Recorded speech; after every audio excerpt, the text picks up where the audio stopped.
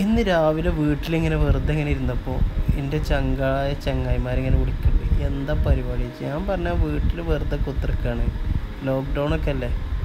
ഒരു പരിപാടിയില്ല അപ്പോൾ ഒരു പറഞ്ഞാൽ വാജി പുറത്തേക്ക് പറഞ്ഞു. അങ്ങനെ ഞങ്ങൾ അവന്റെ ഓട്ടോറിക്ഷയിൽ ഇങ്ങനെ വെറുതെ മമ്പാടുന്ന് ഒരു മൂന്ന് മൂന്ന് കിലോമീറ്റർ അകലെ മാടൻ കോളനി ആണ് കോളനി ഉണ്ട്. അതിലിങ്ങനെ നല്ല അടിപൊളി യാത്ര. നല്ല മയക്കാറുണ്ടായിരുന്നു.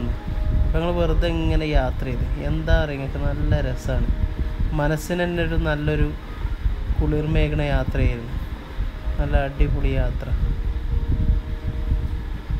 നമ്മൾ യാത്ര ഇങ്ങനെ ചെയ്യുമ്പോൾ നമ്മളെ മനസ്സിൽ എത്ര ടെൻഷൻ ഉണ്ടെങ്കിലും ഈ പ്രകൃതി ഇങ്ങനെ ആസ്വദിക്കുമ്പോൾ മനസ്സിന് നല്ല സുഖമാണ് അതുകൊണ്ട് തന്നെ യാത്രകൾ ഞാൻ ഒരുപാട് ഇഷ്ടപ്പെടുന്നു. എന്റെ ഒഴിവ് സമയങ്ങളിലും ഇനിയിപ്പോൾ തിരക്കാണെങ്കിൽ കൂടി ഞാൻ യാത്രകൾ മുടക്ക മുടക്കാറില്ല. വെറുതെ അങ്ങനെ എല്ലായിടത്തും വെറുതെ അങ്ങനെ പോകും. അത് എന്നും എന്റെ ഒരു ഹോബിയായിരുന്നു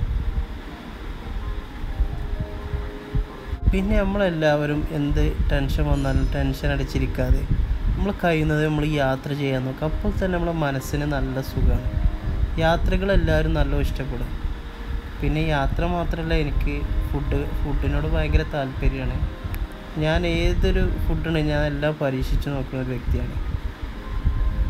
പിന്നെ ഇത് എന്റെ നാട്ടിൽ എന്റെ നാട് മമ്പാടാണ്. നിലമ്പൂർ അടുത്ത് ഇത് ഞങ്ങളെ നാടിന്റെ അടുത്ത് നിന്ന് തന്നെ മമ്പാട് അങ്ങാടിയിലാണ് എന്റെ വീട്. അവിടെ നിന്ന് മൂന്നര കിലോമീറ്റർ ഉള്ളിലാണത്. മാടം കോളനി അതായത് മാടൻ കോളനി എന്ന സ്ഥലമാണ്.